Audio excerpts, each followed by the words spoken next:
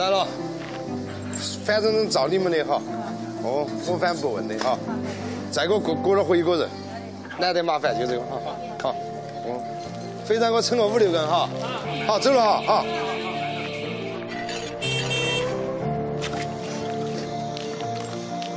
反正该涨你就涨，该说你就说哈。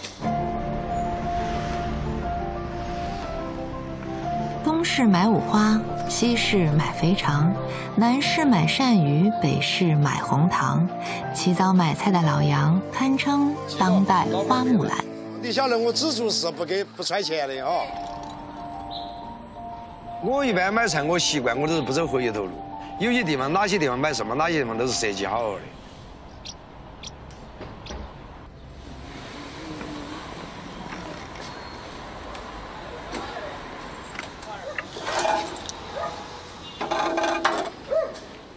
市井散人多歧视。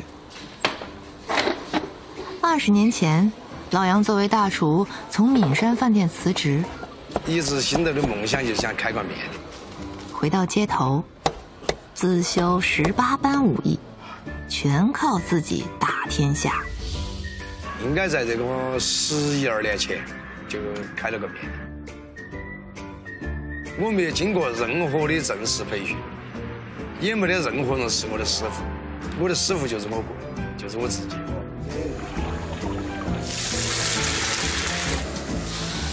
老杨炒浇头，坚定地走着群众路线。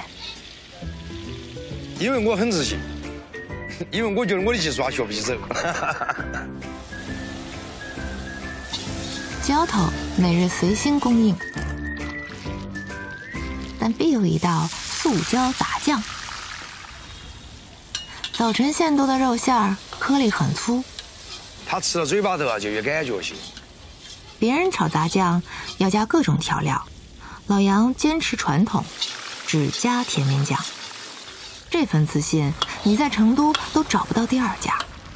给你什么时候加酱，炒好炒多久，时间长了炒过了，它就刚好把水分走完，满嘴的肉香味哦。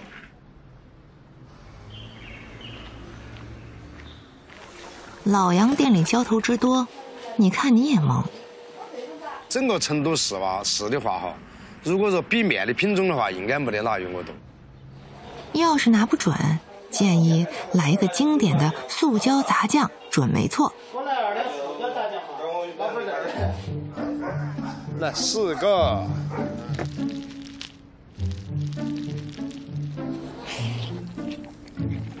有这个硬度嘛？颗粒对，剁碎的，但肉质很好。二两鳝鱼哈，快包面来，一个二两红油抄手，一个一两海味抄手，两个海味一个菌汤，胡椒二两端就走，一两鳝鱼两双脆，十碗面之内，都过海，都过季。这个要经过时间水到渠成，这个是。对于吃面，老杨有点精神洁癖。该有汤的才是有汤，哦。做东西要有要讲规矩的嘛。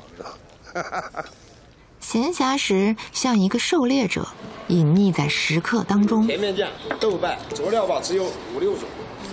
吃吃到吧就是要吃，打造食材的本味儿。对。一旦发现离经叛道的食客，免不了让老杨教育一番。这个面要拌，要要要会拌。有有一种东西就叫蚂蚂蚂蚁上树。哪些面？该吃干的，哪些该吃汤的，居然哪些该换筷子，他这方面都应该讲究的。七十八元。如果你还是停留在川味面只有麻辣印象的初级小白，那你急需要到老杨的面店里补补课了。后厨里，妻子按照老杨的指示精准调味。成都的面都是不辣的，面一辣了哈，它就把其他的味盖了，就吃不到它的复合味。说到复合味，得提一提灵魂底料甜酱油。个人的做法都不一样，各有千秋嘛。各种香料熬制的酱油，经老红糖电话，就是老杨对于那些挑剔嘴巴的回答。去成都吃的话，主要是吃佐料味道。对，然后啊，然后颜色重，颜色重，然后让味道又不会很咸，然后这样就色香味俱全嘛。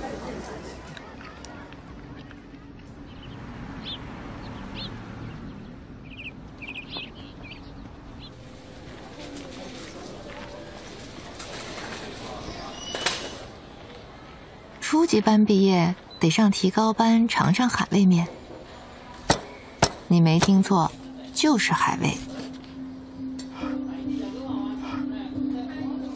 几十年前，成都人几片海带，几颗淡菜，创造了对遥远海洋的畅想。多少老成都对大海的初印象，就是从这一碗海味面开始的。历经两个小时的熬煮，你着急，老杨不急。很小的时候，我们就晓得海味面。等到汤汁好去大半，一口鲜汤入口，能让你在遥远的内陆也能感受海风吹拂。就是成都你一个内陆城市里面做一个海味的东西，嗯，然后又很好吃。因为如果你去沿海，人家说这种海鲜面，估计别人可能会笑话，因为成都吃不到那种新鲜的海鲜，但是干货做出来的效果绝对不比新鲜的差。在食客眼里，老杨是个怪人，生意再好，过午不候。面完了哈，今天要放假了。赶上放假，您明日再来。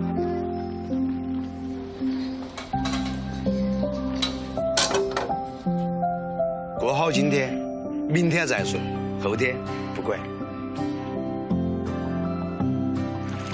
一个放浪不羁的老杨，骨子里却满是对生活的热爱和想象。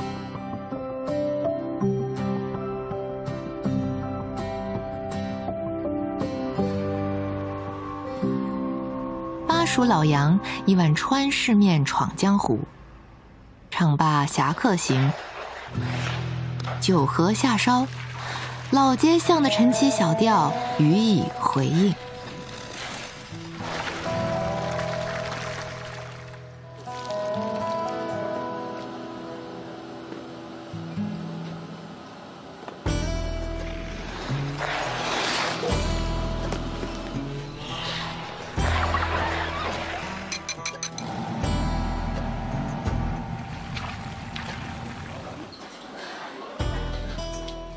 三餐，四季，